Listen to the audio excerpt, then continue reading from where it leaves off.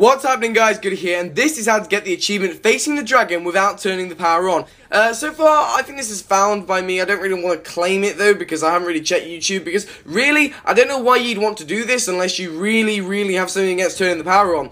It costs the same as the normal achievement guide. If you haven't seen that already, there's one on my channel. I'll put a link in the description. Go and check that out because that is a much easier way on how to get this achievement. This is very long, very tenuous, but it works. So I thought I'd put it, you know, up. So instead of um, going down the lift, you collect 750 points like the other one, but instead of going down the lift, you go through those double doors. Now, my capture card didn't work, so I'm actually recording the theatre mode. So these are the places these parts will be. They will also be some in the starting room, but if they're not there, don't panic because the four will be here. And as you can see, the parts don't actually exist until I pick them up in theatre mode, which is pretty poor, but once I pick them up, they exist. Now, what you want to do, you just want to tease it along. You want to just keep mashing the X button on your part, and it will slowly move across the floor every time you switch between them, which is quite a clever little strategy. Now, the tricky bit is getting it down this fall. What I found easier to do is um, get the bigger piece. You want to pair it up so you've got like a metal mesh, a flag, the battery slash motor, or and that fan bit,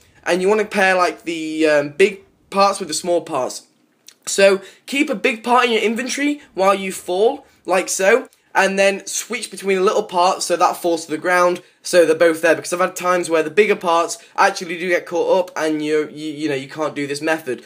Um, once you're down here, build the build the I can't remember what it's called the the catapult thingamabob. I really haven't played this map long enough to learn terminology, but it's. I don't know why you'd want to do this, but it does work. I've already had the achievement pop on me because hence the other achievement guide, but um, the character my brother was playing as did actually say his quote saying, Hey, I'm just a badass, or something like that. So I know this works as a method, and you also want to keep a zombie alive because obviously you want to do it before round two.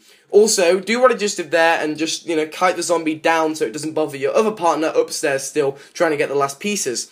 So, once that's built, all you have to really do is just catapult to the dragon part, really. That is, is you know, it's not that hard. That's all you have to do.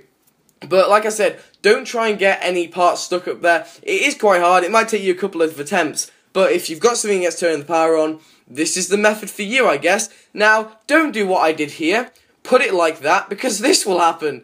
I'm so amazing at this game. So what we did here, um, we just switched to my brother's camera and he then he got over to the other side and completed the tutorial for us. So say a big thanks to him. His channel will be in the description as well. But I guess that's it. That's how that's an alternative method on how to get the achievement facing the dragon on Call of Duty Black Ops 2, Nazi Zombies, or I think it's just called Zombies now, but on Die Rise, there it is. The achievement obviously didn't pop because, like I said, we've both got it before. But there we go. That's how to do it. It's been goody, guys. Thank you for watching. As always, goodbye.